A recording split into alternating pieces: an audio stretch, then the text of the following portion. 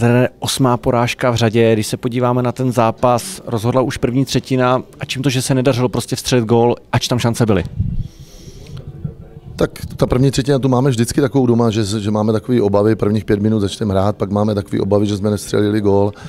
Eh, já si myslím, že přijel, přijel mužstvo naprosto hokejový, klidný, eh, bez nějaký oni body nepotřebovali, oni už to mají vlastně rozhodnutý. Oni si přišli zahrát, vlastně si tam vystřídali i golmany, eh, což prostě mm, my jsme byli pod tlakem, ale já myslím, že od druhé třetiny jsme hráli to, co jsme chtěli.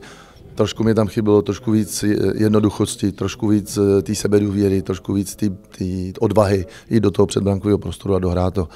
Eh, to, že ty góly nedáváme, to prostě to je vidět, no, ale, ale mm, nemyslím si, jestli, jestli prohráváme. Prostě už jsme se naučili hrát na nějaký míň přídělů, ale do těch šancí se dostáváme, musíme dávat góly, musíme začít dávat góly, musíme mít víc odvahy, ale mm, prostě to, to závisí na té sebedůvěře, to závisí na té odvaze těch útočníků, aby tam chodili.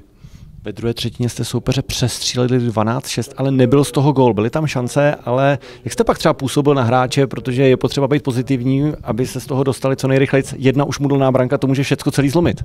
Tak ona to mohla zlomit, že jo? To 4 na 3 to mohlo zlomit, potom ještě eh, v závěru eh, Gašparovič to mohlo zlomit, že jo? To ještě mohlo všechno přijít, mohlo přijít prodloužení a nám ten druhý bod stačil, že jo?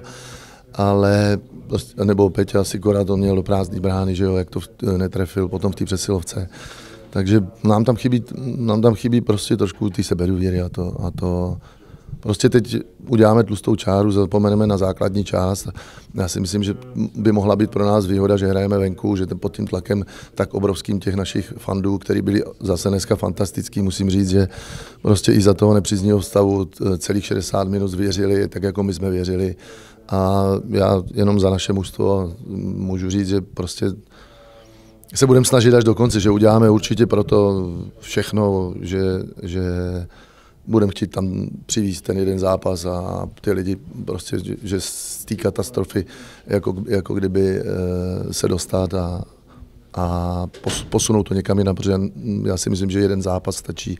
Eh, třeba eh, tři branky, čtyři branky, když střelíme, tak to stačí, aby to mužstvo se nastartovalo. Už jste to řekl, že považujete tak trochu za výhodu, že série začíná v Ostravě a navíc se nebude hrát v Čes areně, ale v Porubě. Považujete i to za další výhodu, že vlastně Vítkovice tak trochu ztratí to své domácí prostředí, na které jsou zvyklé z celé sezony? Tak já nechci předbíhat, my, my, my nechceme vykládat, co tam budeme hrát nebo co oni budou hrát. My jsme tam teď nedávno hráli, my víme, že Vítkovice mají určitý přednosti. My musíme být disciplinovaní v tom, tak jak ve hře, tak v, v těch eh, vyloučeních, protože ty nás stojí spoustu sil. My musíme eh, prostě být pokorní, my nesmíme někde vypovídávat se, že my tam prostě budeme, ale musíme naprosto tvrdě pracovat. Teď už není kam, kam jít, teď už prostě musíme jenom, jenom potvrdit to, že, že tak špatný musto nejsme. Ta otázka po osmi porážkách možná bude znít hloupě, přesto se zeptám, playoff, nová soutěž a hlavně playoff dělá hokej hokejem. Jak se na něj těšíte, nejen z toho pohledu, že prostě je tlustá čára, ale nová výzva před váma je, že vlastně teď může být všechno zapomenuto a vlastně všechno špatné se najednou může stát něčím dobrým.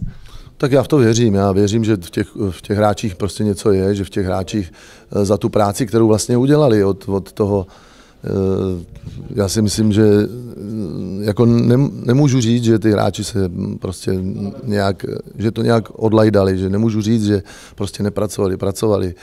Ty příčiny jsou takové, jaký jsou, na ty se vymlouvat nebudeme, o těch už mluvit vůbec nebudeme. Prostě jdeme, jdeme dál z čistého stolu, e, zavařili jsme si to sami, prostě to každý má v hlavách, ale na to musíme se teďka vykašlat. Prostě teď přijde nová sezóna a do té musíme vlítnout.